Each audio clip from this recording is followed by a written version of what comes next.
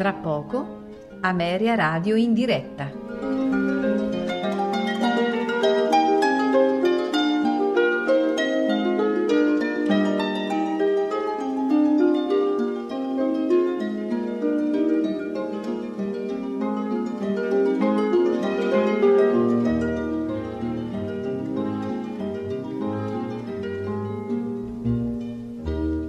Tra poco, Ameria Radio in diretta.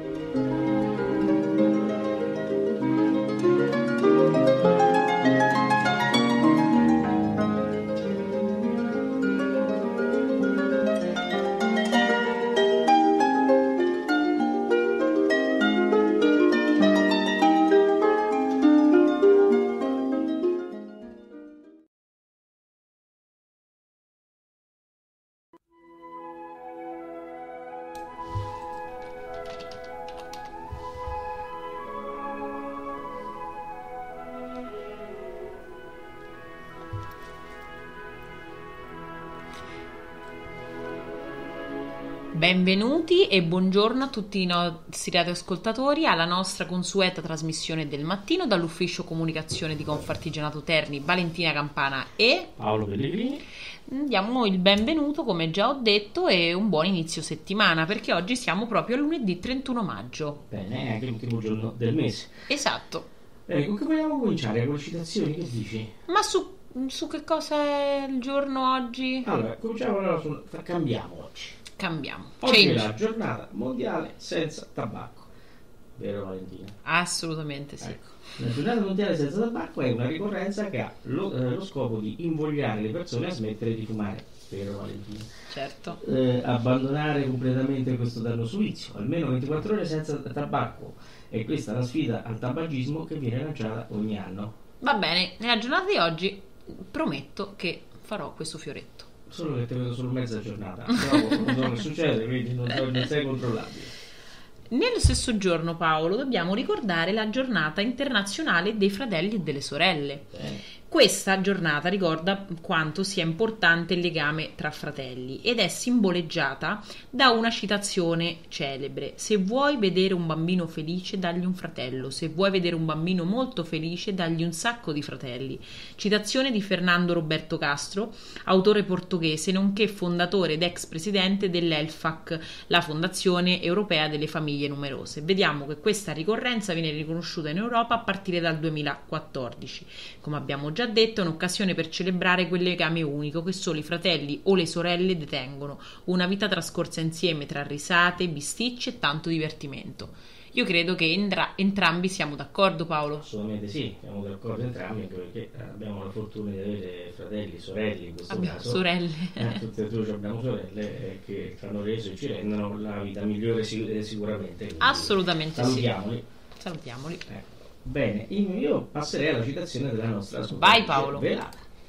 Il segreto per vivere bene e a lungo è mangiare la metà, camminare il doppio, ridere il triplo, amare senza misura. È un proverbio cinese. Sono d'accordo sugli ultimi due passi, sul primo un po' meno meno, però mangiare la metà non ci riesco. Quindi, eh, detto ciò, invece, eh, puoi andare con eh, diciamo i santi di oggi. Certo, si celebra oggi la visitazione della Beata Vergine Maria, San Silvio di Tolosa, vescovo, e Santa Petronilla, martire. Beh, Telemaico, un posto per favore. Paolo ricorda chi è Telemaico. Telemaico è il gestore, nonché padrone del relè eh, praticamente eh, a 5 stelle dei santi con nomi strani. E praticamente abbiamo anche Tercrude che sta in Santa Tercrude che sta in reception e quindi eh, tutti i santi un po' strani trovano posto in questo relè. E Tercrude stamattina accoglierà Petronilla che sicuramente avrà una suite a sua disposizione. Bene, vediamo i nati di oggi. I nati di oggi, allora nel 1930 abbiamo Clint Eastwood nella galleria dei volti che universalmente potrebbero rappresentare la storia del cinema mondiale, il suo è tra i più significativi, eccellente su entrambi i versanti della cinepresa, del suo talento dicono qualcosa e 5 Oscar conquistati. Nel 1953 invece nasce Fabio Concato. La voce romantica e l'indiscussa raffinatezza dei testi ne fanno uno dei cantautori italiani più amati di sempre. Nel 1970 invece eh, nasce Paolo Sorrentino, regista di indiscusso talento, in coppia con l'inseparabile Tony Servillo, rappresenta l'immagine del cinema italiano contemporaneo nel mondo. Grande Paolo Sorrentino. Assolutamente. Amo i suoi film. Sì, eh, pure io. Eh, anche se non ne ho visto neanche uno. Scusate, Immaginavo. eh, infatti la- ho- sono caduto nella, nella trappola. Bene, eh, dopo questo no, beh, faccio il mia colpa perché eh, è giusto Ultimamente vedere. non sei aggiornato con gli ultimi film, Paolo, perché? Sono in La grande radio. bellezza. Ma sono in radio. Ok. Eh,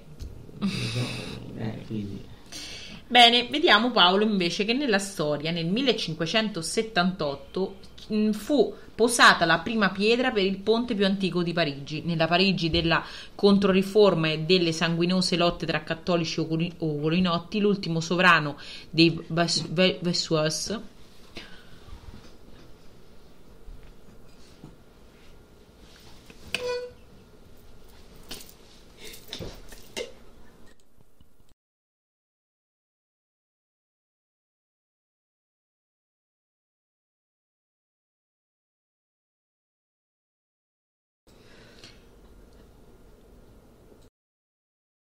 scusate un- un problema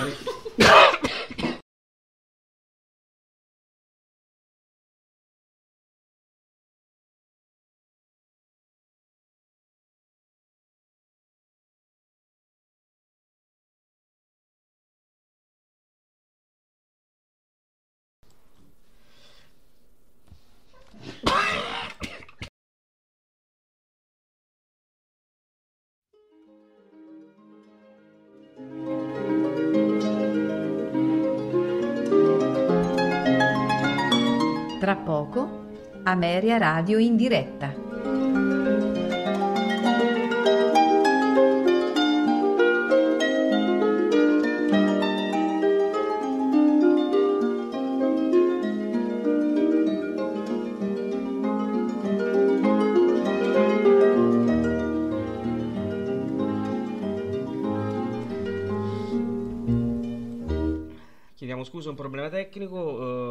Risistemiamo il microfono di, di Valentina, eh, dicevamo che nel 1578 è stata posta la prima pietra per il ponte più antico di Parigi, nella Parigi della Controriforma e delle sanguinose lotte tra cattolici e ugonotti.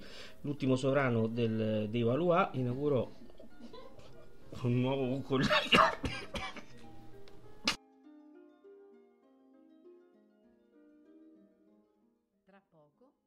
Ameria Radio in diretta.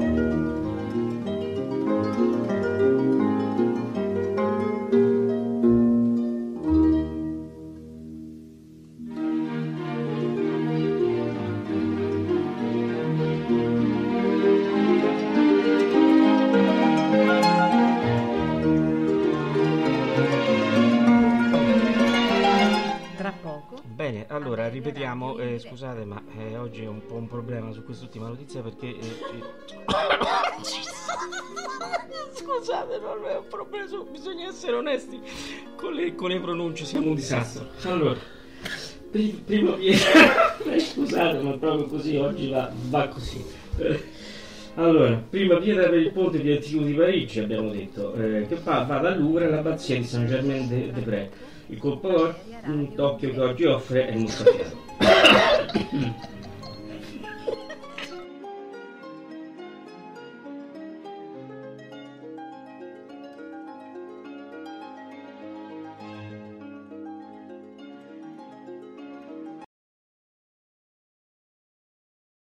Madonna mia. Bene, ora passiamo alla nostra rassegna stampa e mandiamo la Sigla! Bene,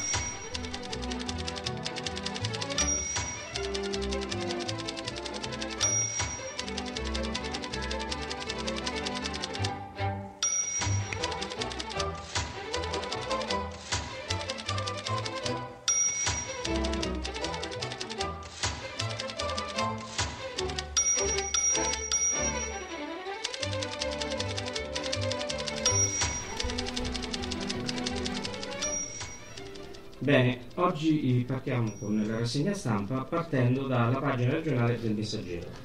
La sfida alla terza ondata. Vaccini via con i cinquantenni, intanto sono 20.000 i trentenni prenotati. la curva continua a scendere, meno ricoveri in terapia intensiva, le scorte si assottigliano, attesi 46.000 dosi di Pfizer in settimana. Bene Valentina, prima che parliamo dei vaccini, vuoi parlare dei dati? Certo, allora prosegue il calo della curva dei positivi, ricoverate 68 persone, ieri nessun nuovo trasferimento in rianimazione, questo sicuramente è un dato molto...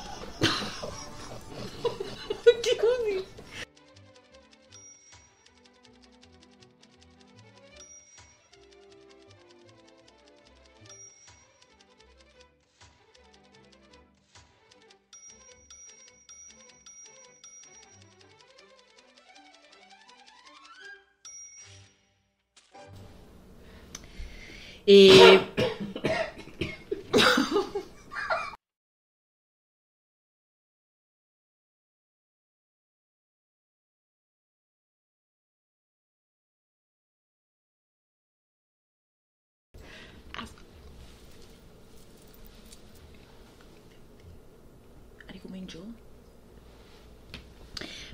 Prosegue il calo della curva dei positivi, ricoverate 68 persone. Ieri nessun nuovo trasferito in rianimazione, quindi nuovo dato positivo. Prosegue la discesa degli attualmente positivi in Umbria. Alla data di ieri, infatti, erano 1558. Il giorno precedente erano 1591. Purtroppo, ieri, però, a differenza dei giorni precedenti, sono emersi 65 nuovi positivi a fronte di 1509 tamponi analizzati, quindi con un tasso di positivi che si alza fino al 4% rispetto all'1,2% del giorno precedente. I guariti sono stati invece 95. C'è stato un altro decesso che porta il totale delle vittime Covid a 1401. Anche la situazione ospedaliera è tranquilla, sono oramai rimasti appena 68, 6 in meno del giorno prima i pazienti ricoverati eh, perché positivi. Di questi sono 6, invariato rispetto al giorno precedente, in terapia intensiva. Che eh, numeri insomma, che dovrebbero spalancare le porte della zona bianca all'Umbria già dal 7 giugno. Speriamo insomma che questo si, eh, si, sia davvero eh, così, insomma. Eh, vediamo invece la situazione vaccini. Alla data di ieri in Umbria sono state vaccinate 353.504 con prima dose e 173.334 con ciclo completo, quindi questo è il numero dei dati e sono 24.336 i prenotati in fascia 40-49 anni, 16.332 in fascia 30-39 anni, 61.917 60-69 anni, 33.321 50-59 anni. Per terminare i richiami della fascia di età degli over 80 mancano circa 4.500 somministrazioni, mentre sono 116.332 i fragili caregiver e familiari che hanno avuto avuto la prima dose. Bene, allora in campo di, per parlare dei vaccini, eh, da oggi, eh, anzi da domani, si va con i vaccini ai cinquantenni. Eh, intanto però si sono prenotati anche a 20.000 trentenni. Qual è il problema? Il problema è il solito, eh, il problema è che non abbiamo le dosi. Con le somministrazioni effettuate ieri praticamente si sono assottigliate anche eh, le scorte, sono circa 9.000 vaccini di scorta. Eh, gli sms comunque eh, ai cinquantenni che dovrebbero cominciare da domani non sono ancora arrivati e quindi eh, c'è molta attesa e ci sta anche eh, diciamo quel, eh, quel, pizzico di follia che accade sempre durante eh, l'inizio delle nuove fasi vaccinali, tra cui una signora che praticamente ha ricevuto l'sms per la vaccinazione ma senza data. Ha ricevuto quindi l'SMS con il link per scaricare la procedura, ma eh, in questa procedura non era riportata la data.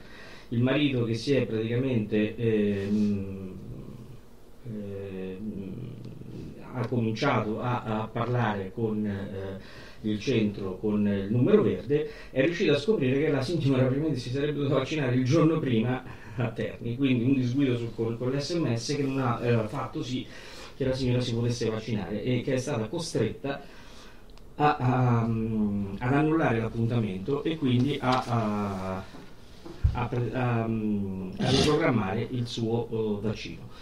Bene, eh, queste comunque sono le cose che capitano in un momento eh, così di confusione che quando partono le nuove fasce succede sempre, sia per le liste sia per altri problemi. Bene, parliamo sempre di salute, eh, le, le, follie del, del meteo, in, diciamo, intitolato così l'articolo che segue, allergie in 50.000 sono ancora a tappeto.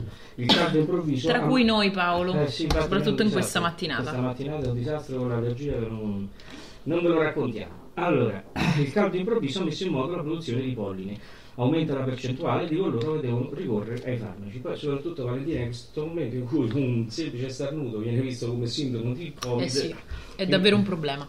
È davvero un problema e molti diciamo eh, vanno a, a fanno ricorso, come giusto che sia, alle terapie antiallergiche, quindi all'antistaminico. Eh, è chiaro che eh, su questa situazione poco si può fare se non quello di prevenire, come in tanti casi eh, viene fatto tramite i medici di base che preparano come abbiamo fatto anche noi Valentina, preparano oh, la cura preventiva per affrontare il periodo della, della, dell'allergia con dei controllori staminici. Sì. Eh, diciamo che quest- in quest'anno la circolazione del polline è, è stata proprio oh, è in, concentrazioni molto elevate sia nel Ternano che nel Perugino. Quindi questa altalenanza di temperature calde e, e dà praticamente questa uh, circolazione massiva di, di polline che veramente mette a tappeto molte, molte persone. Altra notizia, bus e treni scatta lo sciopero, martedì nero per i trasporti. Continua il muro contro muro tra Orsa e Bus Italia. A fronte dell'immobilismo aziendale e, e dalle mancate risposte ai problemi sollevati dai lavoratori del segmento auto e ferro, il sindacato programma lo sciopero per l'intera giornata di domani. Quindi eh, una questione che poi verrà anche affrontata eh, con l'assessore regionale Mirasecche nei prossimi giorni che comunque domani si eh, esplederà con questa giornata di sciopero. Eh, vi invitiamo tutti ad andare eh, sul sito di Bus Italia per controllare diciamo, le fasce garantite, comunque sono quelle eh, della, parte, della, della fascia studentesca. Bene, con il regionale ho finito, Valentina, se puoi procedere tu. Sì, allora vediamo il Corriere dell'Umbria, eh, ristoranti e bar via le restrizioni, si riparte domani, si torna a consumare al bancone e a mangiare all'interno, boccata d'ossigeno per 2400 locali senza spazio esterno. In Umbria, come abbiamo appena letto, sono 2400 circa le attività della ristorazione che non possiedono un The Horse e se i bar in qualche modo con la sport hanno già potuto riaprire anche se non a pieno ritmo, per i ristoranti è stato tutto molto più complicato. In moltissimi di quelli che pre-pandemia non avevano The Horse sono corsi al, al, al ai ripari anche grazie alle eh, concessioni dei comuni e alla fine qualche tavolo al posto eh, di stalli di parcheggio su pedane incastonate negli angoli dei vicoli pedonali lo si è ricavato, ma ovviamente non tanti da far dormire sonni tranquilli, senza contare l'incognita meteo che fino ad ora nel mese di apertura all'esterno non è stato ne- neppure troppo mh, mm, clemente. E comunque, in, e comunque insomma in molti sono rimasti chiusi eh, da mesi ormai e solo domani potranno finalmente riaprire ai propri clienti e si spera anche ai turisti. Questo però riguarda più che altro la provincia di Perugia perché vediamo proprio che nello spe- specifico a Terni non ci sono locali che riaprono per l'occasione dopo essere stati chiusi senza considerare coloro che hanno deciso di cessare definitivamente la propria attività in eh, qualche caso che ehm, già dopo eh, il primo lockdown.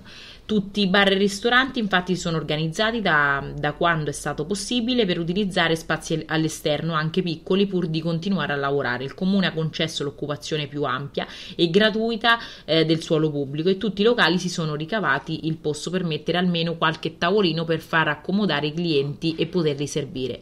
Da domani però il vero ritorno alla normalità con la possibilità di utilizzare anche gli spazi interni. Siamo contenti di poter tornare a servire i clienti al bancone, spiegano Luca e Massimo D'Antonio eh, dell'omonima pasticceria. Eh, pasticceria Bar di Via Borsi perché il contatto è più diretto. In questi mesi ci siamo organizzati con qualche tavolino all'esterno, ma non è la stessa cosa. Siamo curiosi di vedere come andranno le cose da martedì sera. È sicuramente un nuovo passo in avanti, ma vanno sempre seguite le regole anti-Covid molto bene queste, insomma, queste ripartenze sicuramente porteranno dei benefici anche alla nostra piccola regione. Certo. Ora andiamo sul tema scuola. Scuola d'estate, uno studente su tre dice sì. Per giugno adesioni al 30%, ma ci sono plessi che vanno oltre il 50%, didattica, sport ed escursioni per dimenticare la, TAD, la DAD. La sfida lanciata dal ministro dell'istruzione Patrizio Bianchi ha accolto nel segno. Il progetto è stato a scuola per permettere ai ragazzi di recuperare le attività didattiche, ma soprattutto la socialità persa nelle settimane di lezione a distanza, è promossa a pieni voti dalle famiglie umbre. L'adesione alla prima tranche di giugno sfiora il 30%, con punte di 50%, come abbiamo abbiamo già letto dal titolo, un po' in tutti i livelli scolastici, anche se al momento solo 122 istituti hanno dato la disponibilità. E se per i più piccoli delle primarie si tratta di una risorsa per molte famiglie dove entrambi i genitori lavorano, anche per i più grandi di... Mh, il consenso è stato alto. Ora si cercherà di capire se laboratori, attività sportive, musica ed escursioni nei borghi nelle città potranno essere programmate e previste anche nei mesi di luglio ed agosto. Vediamo proprio in, questa, in questo articolo anche quattro um, dirigenti scolastici che sono intervenute. Eh, una dell'Istituto Tecnico di Orvieto, eh, Vessella, bella risposta da parte dei genitori. Terzo circolo di Cubio, Codignoni. Su 520 alunni ho ricevuto 370 adesioni. Cam- scusatemi, eh, Comparozzi di Perugia, Toffanelli, un supporto per le famiglie che lavorano, Allievi San Gallo di Terni, recupero, competenze, laboratori e attività fisiche. Quindi sicuramente si prospetterà un'ottima estate per questi ragazzi e per tornare ad avere un pochino di normalità anche nell'ambito sociale, certo. oltre a quello didattico. Con questo Paolo ho terminato la pagina regionale e seguiamo con il provinciale. Sì, una pagina provinciale del messaggero inizia così: Piazza Solferino, rampe e salti, torna l'invasione degli skaters. Acrobazie tra bambini che giocano e tavoli all'aperto di bar e ristoranti. I ragazzi che praticano questo sport non hanno ancora uno spazio adeguato. Uh, viene riportato alla luce da questo articolo di, Lorenzo Puccioni praticamente la, uh, l'annosa uh, problematica del parco per gli skaters. Eh, dopo il no dei, dei diciamo, degli abitanti del quartiere San Giovanni dove era previsto nel piazzale eh, vicino al parco la, uh, la, costruzione di questo parco per gli, per gli skaters praticamente eh, questi ragazzi hanno, eh, sono ritornati a Piazza Solferino. A loro basta una rampa e una barra di ferro per eh, cominciare a, a volteggiare con i loro skateboard è chiaro che la piazza eh, è dedicata ai bambini e alle bambine perché è un posto eh, riparato e tranquillo per le loro passeggiate e per i loro giochi al, all'aperto e la presenza degli skaters praticamente crea un po' di imbarazzo come lo crea anche ai bar che hanno i tavoli all'aperto eh, diciamo all'interno di questa piazza. La soluzione eh, dopo il no del, del quartiere San Giovanni è quella del eh, centro Ferriera oppure è quella del, um, di Zona Fiori vicino all'osteria Frioso. Eh, vediamo, vedremo come eh, diciamo, le, le, due situazioni saranno gestite quale sarà quella scelta dal comune per questo eh, parco mh, dedicato agli skaters. Eh, la politica è a rimpasto, Latini alle prese eh, con una lega balcanizzata. Uh, sì, il, il sindaco Latini ha superato le 48 ore che si era preso per il rimpasto, per, diciamo, per il giro delle deleghe, come aveva detto lui, e adesso si trova anche sotto scacco del proprio partito che in questo momento comincia a chiedere conto della, uh, di questo posto vacante. E in questo c'è anche Terni Civica che va in pressing perché è stato disatteso il patto elettorale. Comunque loro sarebbero d'accordo anche a un, a un tecnico che comunque è gradito a, a Terni Civica. Non vorrei essere nei panni del sindaco eh, che in una foto, non so se voluta o no, ha dietro un camion con scritto traslochi. Quindi no, non so se si prepara qualche trasloco oppure eh, sta arrivando qualcuno. Vedremo.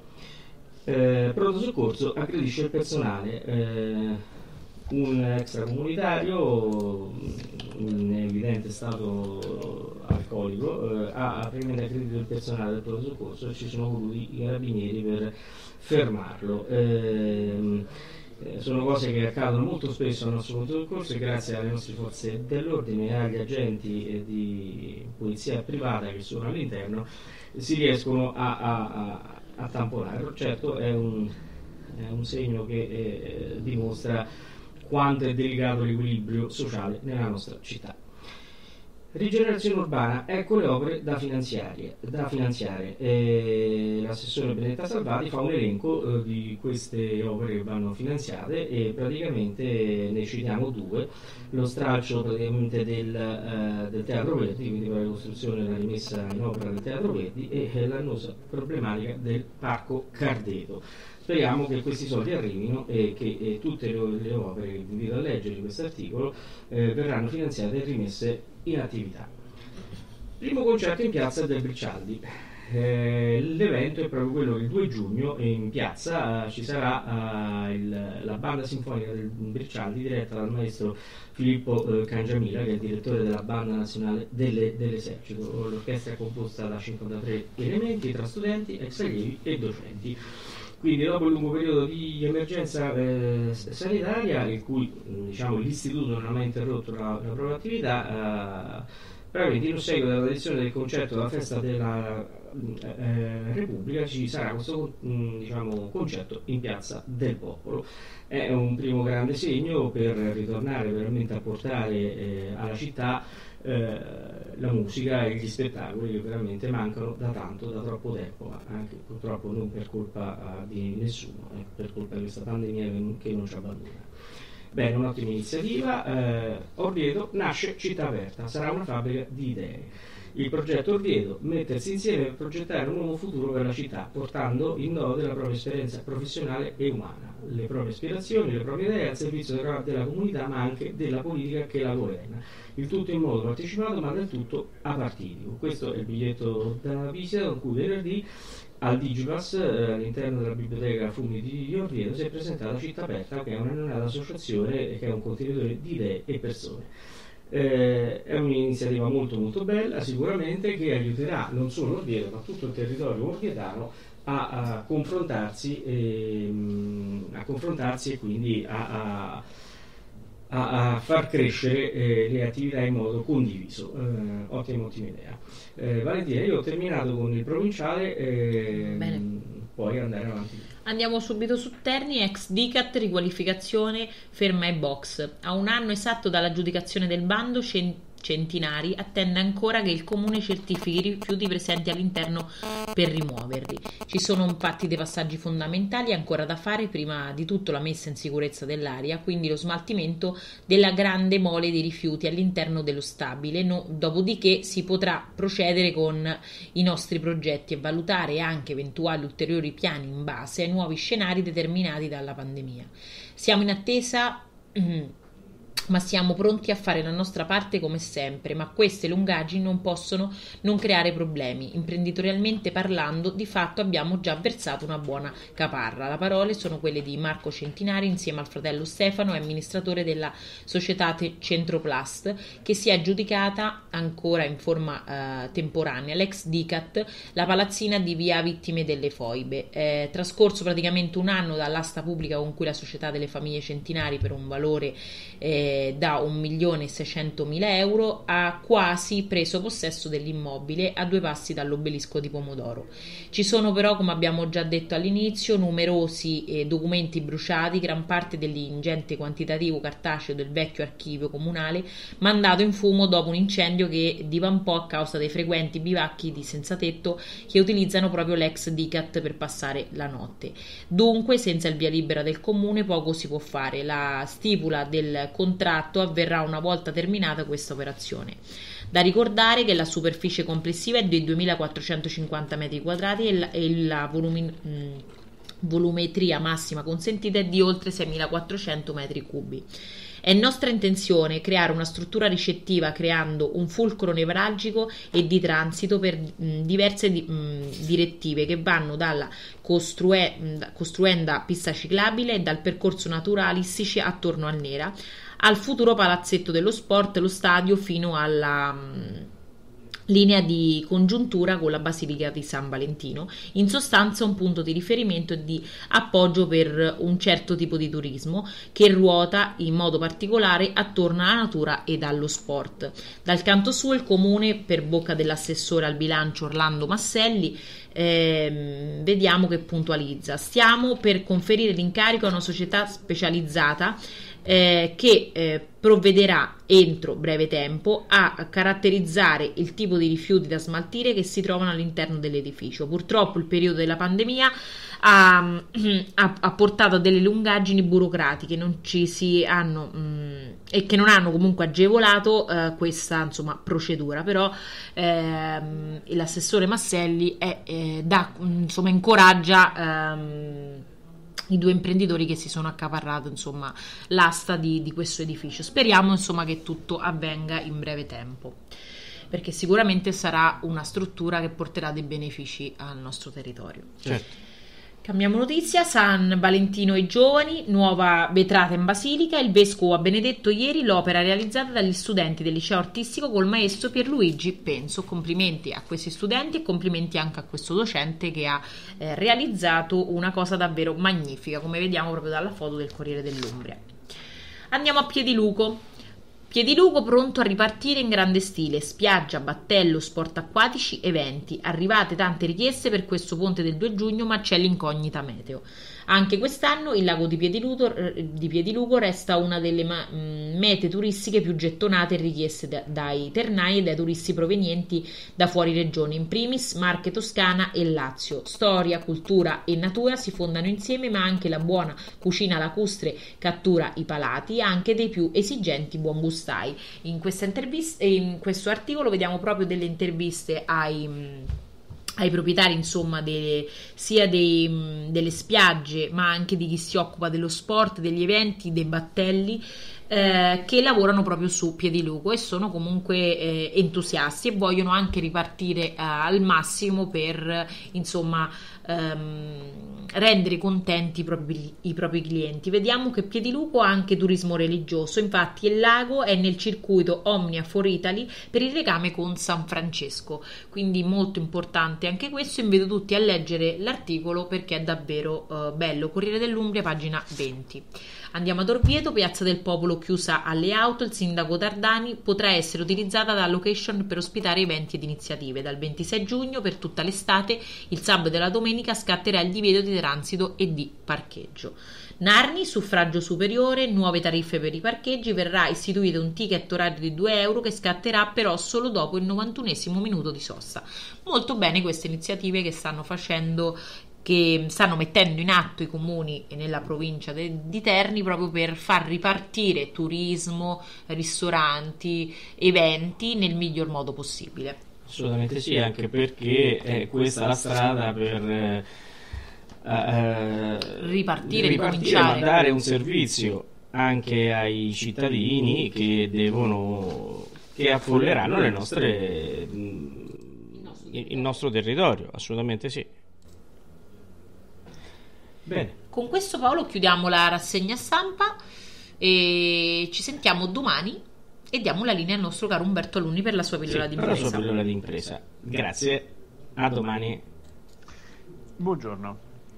Eh, spesso le aziende quando eh, aprono, quando intendono aprire, intendono eh, elaborare una nuova attività, eh, determinano un business plan, un piano di, di impresa eh, pluriennale, cioè sostanzialmente cosa intendono fare eh, da un punto di vista economico, di mercato, ehm, nel corso diciamo, degli anni successivi, normalmente 3-5 anni, cosa, eh, quali sono, diciamo, quali ritengono possano essere le fonti finanziarie eh, che si possono attingere per poter alimentare eh, questo business, ma mh, mm, qualche volta eh, si dimenticano o magari bypassano eh, un elemento fondante e fondamentale che è l'analisi di mercato. Um, per poter aprire qualsiasi attività, sia essa uh, sia che ci si occupi di parrucchiera, falegname, qualsiasi cosa, è assolutamente opportuno conoscere al meglio uh, quello che può essere, diciamo, uh, l'indagine di mercato capire quanti clienti ci possono essere, come la nostra attività eh, può attecchire, come ci può essere complementarità eh, con situazioni già esistenti, se eh, partiamo dal principio che dovremmo essere supplementari, cioè sostituire qualcosa, se abbiamo intenzione di togliere dal mercato qualche altra realtà, il che ovviamente è un discorso un po', un po difficile, un po', un po' complicato. Si parte sempre dal principio che magari con la nostra eh, particolarità, con la nostra metodologia, con il nostro spirito di servizio, eh, si possa essere complementari, no? Perché questo è un discorso sicuramente un po' più facile e, e meno, invasivo, eh, meno invasivo per il mercato. E come si fa un'analisi di mercato? Beh, analisi di mercato no, non ci sono regole auree per poter comprendere quale può essere la chiave di lettura, la base di partenza per un'analisi di mercato. Vero è però che noi dovremmo capire quanti possono essere i clienti della nostra impresa e eh, magari se eh, fino ad ora che cosa hanno fatto, eh, se magari in qualche modo noi assolviamo un servizio di prossimità per cui magari alcuni clienti che prima per lo stesso servizio andavano più lontano si possono rivolgere più vicino. Se elaboriamo un servizio di particolarità o complementarità in logica di qualità a quello che eh, si trova sul mercato. E insomma, sono, le, le sfumature, le sfaccettature sono tante e magari ci possono essere anche composizioni dell'uno o dell'altro aspetto. Eh, nell'uno o nell'altro caso, però, bisogna eh, buttare giù un'analisi di mercato che è comunque tanto importante quanto può essere importante un business plan, perché il business plan è un qualcosa di riflessivo che si riferisce a noi stessi. L'analisi di mercato è un qualcosa che si riferisce all'elemento più importante di un'azienda, i nostri potenziali clienti. Bene, per oggi è tutto. Un augurio per una buonissima giornata da Umberto Alunni, Confartigianati Imprese Terni e ovviamente Ameria Radio. CAF Confartigianato Terni, campagna 730-2021. Perché aspettare per la tua dichiarazione dei redditi? Pensaci subito. Prezzi agevolati per chi diventerà cliente Cempi, Confartigianato Energia e Gas, modello a partire da 20 euro. Contatta subito le nostre referenti al numero 0744 613311 o scrivendo una mail all'indirizzo 730 2021 chiocciolaconfartigianatoterni.it.